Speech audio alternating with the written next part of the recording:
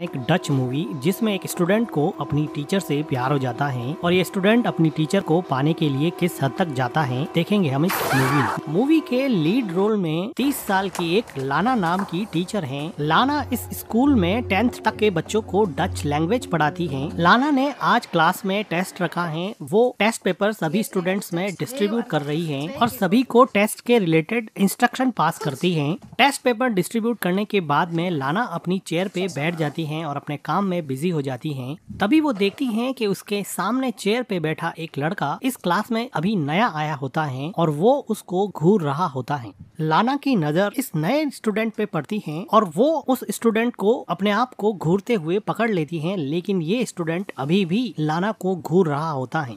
लाना फ़िलहाल के लिए इसको इग्नोर करके फिर से अपने काम में बिज़ी हो जाती हैं लेकिन ये स्टूडेंट अभी भी इस टीचर को घूर रहा होता है और टेस्ट देने में कोई इंटरेस्ट नहीं दिखाता है लाना थोड़े गुस्से की नज़र से उस स्टूडेंट को देखती हैं, लेकिन फिर अपने काम में बिज़ी हो जाती हैं। स्कूल के बाद में लाना अपनी डॉटर को दूसरी स्कूल से पिक करती हैं और जब वो कार को स्टार्ट कर रही होती हैं तो वो देखती हैं कि सामने वो नया स्टूडेंट अपने डॉगी के साथ घूम रहा होता है लाना उसको ध्यान से देखती हैं। लाना की बेटी मॉम को घर चलने के लिए कहती हैं तो लाना कार स्टार्ट करती है और फाइनली उस स्टूडेंट पे नज़र मारते हुए घर की तरफ़ चली जाती हैं। नेक्स्ट डे क्लास में एक स्टूडेंट क्लास में सबके सामने अपनी स्पीच दे रहा होता है तो पीछे की बेंच पे बैठी दो लड़कियाँ हंसने लग जाती हैं तो लाना उन दोनों लड़कियों को अपने फ़ोन से खेलने के लिए मना कर देती है और कहती है की फ़ोन मेरे हवाले कर दो वो लड़की फ़ोन लाना को लाके दे देती है और जाते समय लाना को गाली बोलती है तो लाना कहती है की क्या बोला तुमने? तो वो स्टूडेंट बोलती है कि बहरी हो क्या? तो लाना कहती है कि मुझे पता है कि तुमने मुझे बोला है। तो वो स्टूडेंट कहती है कि मैंने तुम्हें कुछ नहीं बोला है, मैंने तुम्हें डर्टी बोला। लाना इस लड़की को अब क्लास से बाहर निकाल देती है। तो स्टूडेंट लाना को बोल के चली जाती है और यहाँ पर वो लड़का लाना को वैसे ही घूर रहा होता है। लंच ब्रेक में लाना जब कॉफ़ी पी रही होती है तो वो देखती है की नीचे वही लड़का उस लड़की को जिसको क्लास से बाहर निकाल दिया था, उसके साथ वो बदतमीजी कर रहा है। वो उसका बैग खाली कर देता है और उसकी साइकिल को फेंक देता है। ऐसा लग रहा था की ये लड़का अपनी टीचर लाना को डिफेंड कर रहा है और उसके साथ उस लड़की के द्वारा की हुई बदतमीजी को पनिश कर रहा है। लाना फिर लंच ब्रेक में स्कूल की एक और टीचर को पूछती है कि वो जो नया लड़का आया है, वो थोड़ा अजीब बिहेव नहीं कर रहा है। तो वो टीचर बताती है की उस लड़के का नाम बैनी है और वो कहती है की मुझे नहीं लगता की उस लड़के में कोई प्रॉब्लम है, वो बिल्कुल नॉर्मल है। अना को जब ये पता चलता है की बैनी बिल्कुल नॉर्मल है तो वो स्कूल की छुट्टी के बाद में बैनी को कहती है कि मुझे तुमसे बात करनी है और वो बैनी को एक खाली क्लासरूम में ले जाती है। वो बैनी को बैठने के लिए बोलती हैं बैनी ने अभी अभी स्कूल ज्वाइन किया था, इसलिए लाना उससे पूछती है कि तुम्हें यहाँ पे कैसा लग रहा है और तुम्हें स्कूल पसंद आया क्या? तो वो कहता है कि हाँ ओके है। तो लाना पूछती है कि तुम अपने क्लासमेट के साथ खुलते मिलते नहीं हो, कोई प्रॉब्लम तो नहीं है? तो बैनी कहता है कि तुम मुझसे क्या चाहती इस ब्लंट आंसर से लाना को कुछ समझ में नहीं आया कि वो कैसे रिएक्ट करे तो वो पास से एक चेयर उठाती है और उसके पास बैठ जाती है और वो कहती है की मुझे तुम्हारी चिंता है, मैं तुम्हारी कोई हेल्प कर सकती हूँ तो मुझे बताओ। और ये कहते हुए लाना अपना हाथ बैनी के पैर पे रख देती है। तो बैनी कहता है कि मुझे सच सच बताओ तुम्हें चाहिए क्या? इस बात पर लाना फिर से बैनी को करेक्ट करती है और कहती है कि तुम गलत समझ रहे हो। लास्ट वीक मैंने तुम्हारे टेस्ट पेपर चेक किए थे। तुम्हारा स्कोर बहुत वीक है। मैं एज ए टीचर तुम्हें समझा रही हूँ कि तुम्हें कोई हेल्प चाहिए तो मुझे बताओ। लेकिन बैनी हंसता रहता है और कहता है कि मुझे सच बताओ तुम्हें चाहिए क्या? जब बैनी बिल्कुल भी नहीं समझता है तो लाना कहती है कि मेरी मीटिंग है मुझे जाना पड़ेगा। अब बैनी को सही तरीके से समझाने की लाना की ये कोशिश नाकामयाब रही। लाना अपने घर जाके सभी स्टूडेंट के स्कोर कार्ड चेक कर रही होती हैं तो वो देखती हैं कि बैनी का स्कोर बहुत कम होता है। और वो इसी बात को समझाने के लिए बैनी के साथ क्लासरूम में गई थी। लाना अपने घर में अपनी डॉटर और अपने हस्बैंड के साथ रहती हैं हैं। अगले दिन क्लासरूम में छुट्टी के बाद में क्लासरूम से सारे स्टूडेंट चले जाते हैं तो लाना भी अपना बैग पैक करने लगती है और एक एक करके चीज़ें अंदर डालने लगती है। बैग पैक करने के बाद में जब वो क्लासरूम से जा रही होती है तो वो देखती है की वहाँ पर बैनी का बैग रखा हुआ है। वो बैनी के बैग को उठाती है और उसको ओपन करती है। ओपन करते हुए वो क्लासरूम के बाहर भी देखती हैं, कोई देख तो नहीं रहा। और फिर वो बेनी के बैग से उसका टी शर्ट निकालती हैं और उसको स्मेल करने लगती हैं, जिससे हमें पता चलता है कि लाना बैनी से काफ़ी अट्रैक्टेड फील करती हैं, इसलिए वो उस टी शर्ट को स्मेल करती हैं। थोड़ी देर बाद में वो बैनी के टी शर्ट को उसके बैग में डाल देती है और वो अचानक ही देखती है की जैसे कोई उसको क्लासरूम के बाहर से देख रहा है, वो इधर उधर देखती है, लेकिन उसको वहाँ पर कोई भी नहीं मिलता। लाना घबरा के बाथरूम में चली जाती है और अंदर जाके गहरी सांस लेती है। लाना बाथरूम में मिरर में देखती है और थोड़ी देर बाद में वहाँ पे पानी पीने लग जाती है और जब वो अपना सर वापस पानी पीकर ऊपर उठाती है तो वो देखती है कि वहाँ पर बैनी खड़ा है। लाना बैनी को देखे थोड़ी शौक हो जाती है, लेकिन बैनी किसी एग्रेसिव एल्फा मेल की तरह लाना का हाथ पकड़ लेता है। लाना काफ़ी घबराई हुई लग रही थी, लेकिन वो बैनी के चार्मिंग अट्रैक्शन को रजिस्ट नहीं कर पा रही थी और वो बैनी को बिल्कुल भी नहीं रोक रही। बैनी लाना को नेक पे किस करता है? लेकिन जब वो लाना को लिप्स पे किस करने लगता है तो लाना पीछे हट जाती है। वो कहती हैं कि आज के बाद में ऐसा फिर कभी भी नहीं होना चाहिए। ये बात तुम अच्छे से समझ, जब लाना जाने लगती है तो बैनी कहता है कि तुम भी तो यही चाहती हो ना? तो लाना कहती है कि तुम मेरे स्टूडेंट हो, तुम मेरे बच्चे जैसे हो। मैं तुम्हारे साथ अफेयर नहीं कर सकती हूँ, तुम ये बात क्यों नहीं समझ? और ये कहते हुए वो वहाँ से चली जाती है। आज की पूरी रात लाना सिर्फ़ बैनी के बारे में सोचती रही और अगले दिन सुबह वो जब क्लासरूम में जाती है तो वो देखती है की क्लास में सभी बच्चे टेस्ट दे रहे होते हैं, लेकिन बैनी उसको वैसे ही घूर रहा होता है। लाना बैनी को देखती है और गुस्से की नज़र से समझाने की कोशिश करती है लेकिन बैनी टस से मस नहीं हो रहा था। फाइनली लाना को ही नज़रें झुकानी पड़ी। क्लास के बाद में बैनी चलते चलते लाना के पास आ जाता है और अपने कंधे से उसके कंधे को टच करते हुए कहता है कि मुझे तुमसे मिलना है मुझे तुमसे बात करनी। लाना को तो जैसे पता ही था कि ऐसा ही कुछ होने वाला है। लाना बैनी को स्कूल के एक कोने में ले जाती है और वो चारों तरफ़ देख के कहती है कि, कि क्या कर रहे हो बैनी? देखो हमारे बीच में जो हुआ वो नहीं होना चाहिए था। फिर वहाँ पे स्कूल के दो और टीचर आ जाते हैं और ये बात करते करते रुक जाते हैं। उन टीचर्स के चले जाने के बाद में और कोई आसपास नहीं होने के कंफर्मेशन के बाद लाना फिर से बैनी को कहती है अब ये सब नहीं होगा।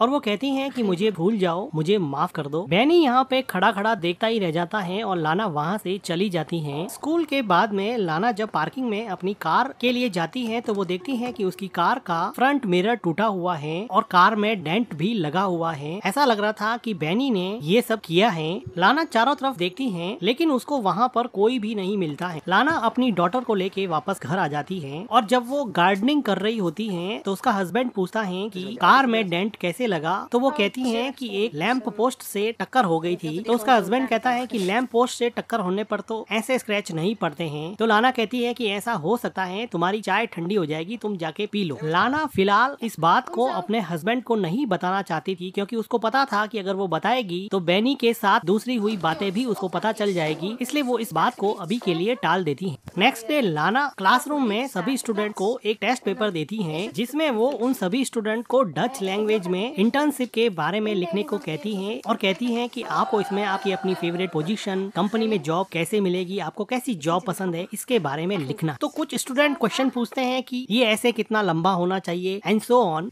तो बैनी क्लासरूम में लाना को पूछता है कि क्या जॉब पाने के लिए किसी के तलवे भी चाटने पड़ेंगे क्या? तो इस बात पे लाना काफ़ी सरप्राइज़ होती है और क्लास के सभी स्टूडेंट हंसने लग जाते हैं। तो लाना कहती है कि, पागल हो गए हो क्या? चुपचाप मेरी क्लास से बाहर निकल जाओ। लेकिन अब क्लास का माहौल थोड़ा खराब हो गया और क्लास में लाना की कोई बात नहीं सुन रहा। तो लाना बैनी के पास जाकर उसका बैग उठाती है और उसके बैग को क्लासरूम के बाहर फेंक देती है और कहती है कि, निकलो यहाँ से और जाओ प्रिंसिपल के पास। लेकिन बैनी को अभी भी कोई फ़र्क नहीं पड़ा। वो आराम से लाना को अभी भी ऐसे ही घूर रहा है, तभी वहाँ पे कोई स्टूडेंट बोर्ड पर डस्टर फेंक देता है और सारे स्टूडेंट मिलके वहाँ पे चिल्लाने लगते हैं। तो लाना परेशान होकर क्लासरूम से बाहर चली जाती है। अगले दिन लाना जब जंगल में जॉगिंग कर रही होती है तो उसको ऐसा लगता है कि कोई उसका पीछा कर रहा है। काफ़ी देर ढूँढने के बाद में भी लाना को वहाँ पर कोई भी नहीं मिलता है।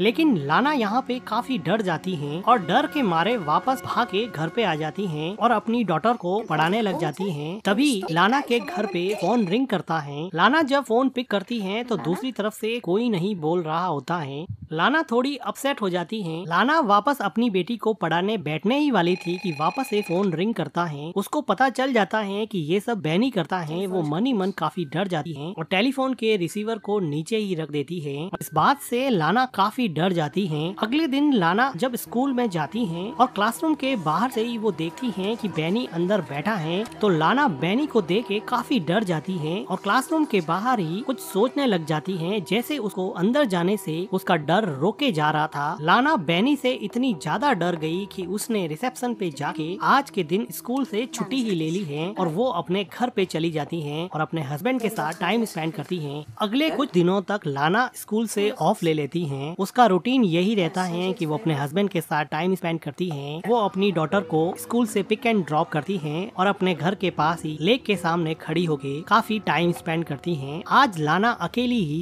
एक आर्ट गैलरी में टाइम स्पेंड करने के लिए आई हैं। इस मॉडर्न आर्ट के चाहने वाले बहुत कम लोग होते हैं, इसलिए आर्ट गैलरी बिल्कुल खाली जैसी है। लाना की नज़र एक खास आर्ट पे चली जाती है और लाना इस आर्ट को बहुत ध्यान से देखती है। तभी उसको ऐसा लगा की बैनी उसके पीछे आ गया है और वो पीछे मुड़ के देखती है की सच में ही बैनी वहाँ पे खड़ा है। लाना काफ़ी घबरा जाती है और आर्ट गैलरी से बाहर चली जाती है और सीढ़ियों से तेज़ी से नीचे उतरती है और आर्ट गैलरी के दूसरे रूम में चली जाती है, लेकिन वो देखती है कि यहाँ पर भी बैनी उसके पीछे पीछे आ गया है। लाना देखती है कि स्कूल में जो लड़का उसके पीछे पड़ा था, अब वो आर्ट गैलरी में भी उसका पीछा नहीं छोड़ रहा है। लाना बैनी से इतनी ज़्यादा डर गई है कि वो उसको डायरेक्टली फेस भी नहीं कर पा रही है। और बैनी अपनी ही मस्ती में लीना के पीछे ऐसे चल रहा था जैसे वो कुछ गलत कर ही नहीं रहा। लाना आर्ट गैलरी के एक कोने में जाके खड़ी हो जाती है, लेकिन बैनी ठीक अब उसके पास में आके खड़ा हो जाता है। लाना कुछ देर तक सोचती है और वो वहाँ से तेज़ी से जाने लगती है। लाना अब नीचे के फ्लोर पे जा रही है, लेकिन वो देखती है कि नीचे के फ्लोर पे बैनी ऑलरेडी पहुँच चुका है और वो भी अब लाना को सर्च कर रहा है। लाना इससे और डर जाती है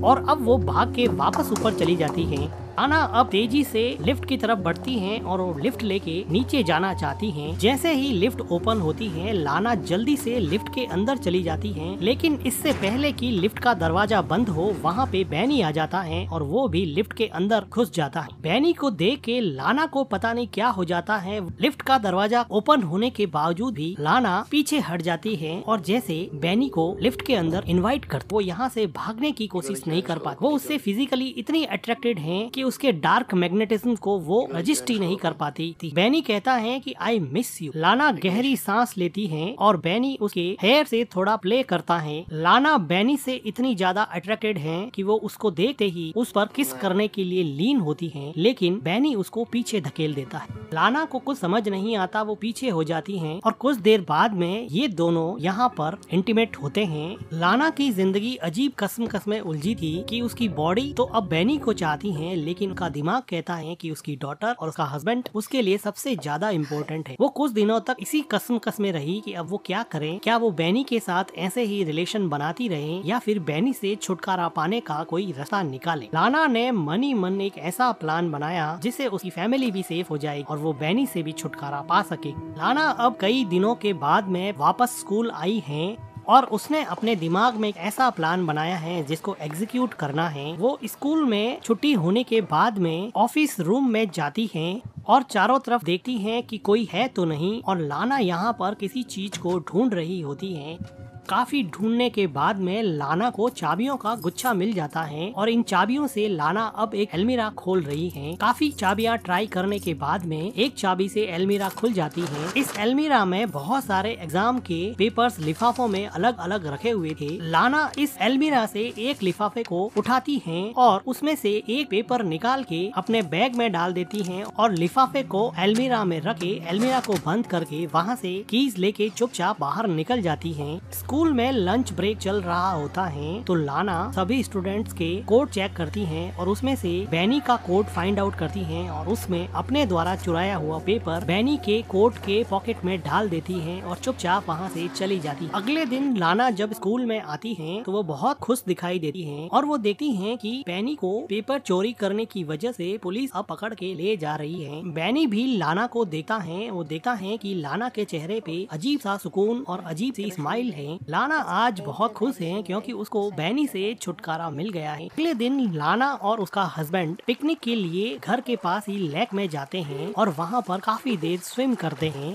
बैनी से छुटकारा पाने के बाद में लाना काफ़ी खुश होती है। वो देखती है कि उसका हस्बैंड लेक में डुबकी लगा रहा है और वो भी लेक में डुबकी लगा लेते हैं। जब लाना वापस से लेक से अपना मुँह बाहर निकालती है तो वो देखती है कि उसका हस्बैंड कहीं नहीं दिखाई दे रहा। वो काफ़ी देर तक इधर उधर नजरे घुमाती है, लेकिन उसका हस्बैंड उसको नहीं दिखाई दे रहा है। लाना इस बात से काफ़ी डर जाती है। लाना को ऐसा लगा कि बैनी वापस आ गया है और उसको सताने लगा है, लेकिन तभी वो देखती है कि उसका हस्बैंड लेक से बाहर आ गया है। बैनी का डर अभी भी लाना के दिमाग से पूरी तरह से गया नहीं था। लाना अगले दिन स्कूल में जाती है और वो देखती है की बैनी की सीट अब खाली पड़ी है, लेकिन लाना को कल वाली खुशी अभी है नहीं। अभी उसको बड़ा अजीब सा लग रहा है। लाना बैनी को क्लासरूम में इमेजिन करती है, वो उसके साथ बिताए हुए टाइम को भुला नहीं पा रही है। बार बार उसके दिमाग में बैनी आता है। बैनी को फिजिकली उसने स्कूल से बाहर निकाल दिया था, लेकिन मेंटली उसके दिमाग में बैनी पूरी तरह से घुसा हुआ था। को समझ नहीं आ रहा कि वो क्या करे। कुछ दिनों के बाद में लाना एक बुक स्टोर पे जाती है, जहाँ पर वो अपनी डॉटर को एक बुक दिलवाती है, लेकिन उसकी डॉटर को वो बुक पसंद नहीं आती। तो वो नाराज़ होके बुक स्टोर के दूसरे कोने में चली जाती है। तो लाना अपनी डॉटर को ढूंढती है और काफ़ी देर ढूँढने के बाद में भी लाना को अपनी डॉटर वहाँ बुक स्टोर में नहीं मिलती है। वो परेशान हो जाती है और बुक स्टोर के मैनेजर से बात करती है और फिर वहाँ पे पुलिस भी आती है और ये लोग सीसीटीवी फुटेज देखते हैं। फुटेज में लाना देखती है कि बैनी भी खड़ा है, जिसको देख के लाना को लगा कि बैनी ने उसकी डॉटर को किडनैप कर दिया है और बहुत घबरा जाती है। तभी उसके हस्बैंड का फ़ोन आता है। लाना उसके हस्बैंड को बताने ही वाली होती है कि उसका हस्बैंड कहता है कि अपनी डॉटर घर पे आ चुकी है, उसको कोई लड़का छोड़ के गया है। तो लाना फाइनली थोड़ी रिलैक्स होती है कि उसकी डॉटर घर पे पहुँच गई है। लेकिन लाना के लिए ये बात काफ़ी डराने वाली थी कि बैनी इतना खतरनाक है कि वो की डॉटर को को बिना बताए उसके घर पे छोड़ आया है। अब लाना को लगा कि बैनी उसको पाने के लिए कुछ भी कर सकता है। फिजिकली तो लाना भी बैनी से काफ़ी अट्रैक्टेड थी, लेकिन वो मन ही मन ये जानती थी कि ये सब गलत है। फ़िज़िकल अट्रैक्शन में वो अपनी फैमिली बर्बाद कर देगी, इसलिए वो किसी तरह से बैनी से छुटकारा पाना चाहती थी। बैनी दिन रात लाना के दिमाग में रहता, उसको सोने नहीं देता, उसको अपने हस्बैंड के करीब भी नहीं जाने देता। लाना अगले दिन बैनी से परमानेंटली छुटकारा पाने का एक प्लान बनाती अगले दिन सुबह लाना बैनी के घर के बाहर थोड़ी दूरी पर कार लेकर खड़ी हो जाती है और बैनी का वेट कर बैनी अपनी स्कूटी लेकर स्कूल जाने की तैयारी कर रहा है तो लाना भी उसके पीछे भी कार चला दे। बैनी तेज़ी से स्कूटी चलाता है तो लाना भी उसके पीछे पीछे अपनी कार की स्पीड बढ़ा देते हैं। जो टर्न बैनी लेता, वही टर्न लाना भी लेता। ऐसा लग रहा था कि लाना के इरादे कुछ ठीक नहीं लग रहे हैं। अब वो अपनी ज़िंदगी और मन में मची हुई उथल पुथल को जैसे